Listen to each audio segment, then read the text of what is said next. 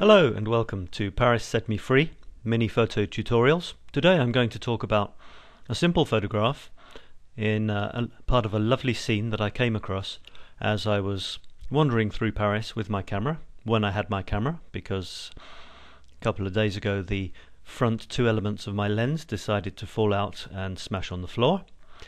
Uh, so I'm currently I only have two eyes at the moment instead of my usual three, so I'm feeling a little bit blind. Anyway, this was before that. I was wandering through uh, some of the streets near a place called La Butte aux Cailles, which is in the um, 15th district. Uh, no, no, no, uh, the 13th district near Place d'Italie, and it's a hill, and there's lots of cute little streets, and this was one of them. And I came across this. It's winter. I took this photograph in uh, January. I think it was January or December, and the sun's very low in the sky, of course. Uh, So you get and um, some. Not only is the light warmer when it's low in the sky because of the angle that it's coming through the atmosphere, but you get some lovely shadows which you wouldn't normally get when it's high up. And here was one. Not only did I love the fact that um, the the lamp is actually almost almost stronger and darker on the building than in real life, but um, also this building behind it gave it a has a, a strange graphic feel to it with the the the round window and the square which and plus you have this graffiti which kind of echoes the lamp in a way. I i don't know if it's supposed to be the lamp or not but anyway it's got these things coming out which might suggest light. So and and also another thing is that this lamp here on on the uh, building's wall is is bigger than the real lamp because of the angle that the sun's coming at. The the post is wider here, and the lamp is almost twice as wide. Let's have a, a closer look at that. Well, let me just show you the the six pictures I took of that. That was the first one. The second, a bit darker. There I bumped the exposure up a stop, I think.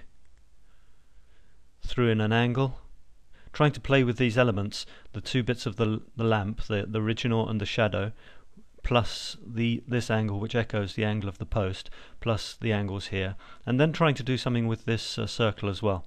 There I exaggerated even more, and again a wacky angle. It looks wacky from when when the photograph is um, traditionally mounted, but I if you actually mounted it to make this vertical, it would be a completely different photograph. Let's see what what happened. I actually decided to make the photograph square in the end. Uh, I took I've I've put two photographs on my on my site. This one and this one. Now they're both not very conducive to, to showing in in this shape of video. So let me just move this up and down a little bit. I made it square, which I thought was quite a nice composition. Uh, there, and here's the other one where I included part of the house. I included this circle up here, top left, tiny bit of branch, same distance between the top of the circle and the frame here, and the edge of the circle and there. Well, slightly less here because the whole photograph is longer, is longer than it is wide. So you can echo that very, very subtly by having things like the distance in between the top and the frame here slightly more than between the circle and the edge here. So that complements the overall composition. And it's a long it's a long photograph. I made it purposely long, although you can't see it in its entirety here, because the um, the main subjects are long and tall, so you can you can bring in the edges of the frame by cropping uh, somewhat and emphasize that that tallness. Although I didn't take them right to the top of the frame because there's this curious round window, which I thought was nice as well, uh, which is kind of balanced by the blue graffiti, which I wanted to include in this shot because it's it's an interesting feature. You've got a little bit of vegetation down here at the bottom, and lo and behold, a little bit of vegetation top left. So there's another little repetition, which is nice. Let me just go on to this one. the big square one, which I I couldn't choose between the two. I had to put them both in in the end, and and it's a it's a gorgeous photograph. Look at the the colours, um, that that lovely warm evening sunlight on a. You get it sometimes in the summer, but even even more so, perhaps in the winter when when the light is so low so often that it, it just it's almost by default a lovely orangey colour. Look, you can see it shining there, and look here you've got a kind of it's not glass. Obviously, it's just a shadow. It's it's it's bits where the light is being prevented from hitting the wall. In fact, but you can almost imagine the the the this bit of reflection here. You can almost see it here in the lighter part here, and there's a great contrast between this, which you can see it's glass, it's lovely and smooth, and here it's still it's got the rugged texture of the wall, and the lovely richness, the rich orangey going into sepia orangey brown uh, because of the, the background of the wall and the warm sunlight. And uh, it's a great contrast, I think. Look at the detail, a lovely crisp detail from my my X lens, which I no longer have.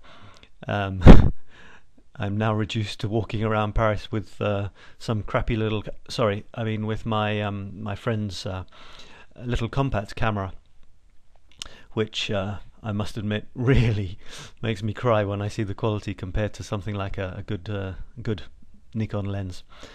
Look at the crown there, the details. You can see every little uh, crenellation, do you call them? And there you can see it even more.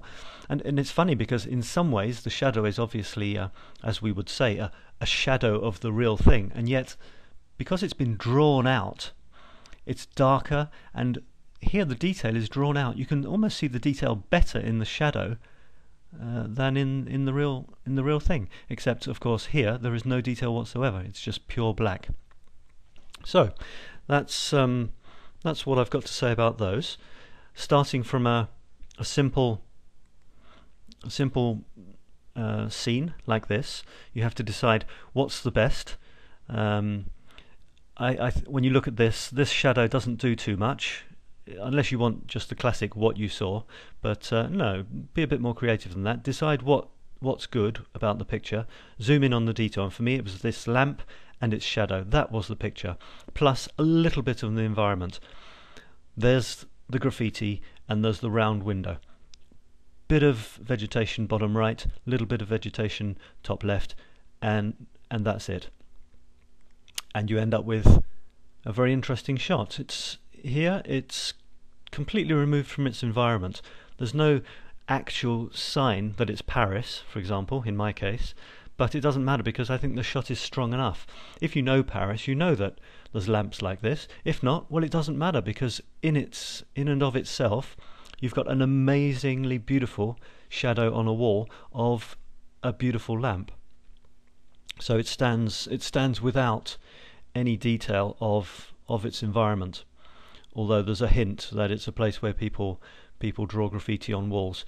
If you want one which gives a little bit more context, then go for um, a shot which is slightly pulled out. Uh, still, there's no hint that it's necessarily Paris unless you know Paris, but it's the sort of shot which, in the context of an article on Paris, for example, would fit in very well. Well, that's that's it for this one. Thanks for for visiting and listening. See high quality versions of these shots on the blog parissetmefree.blogspot.com and see you next time. Bye bye.